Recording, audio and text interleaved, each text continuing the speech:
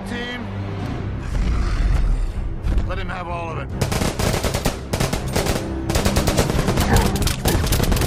There are the 50 cows. Move your ass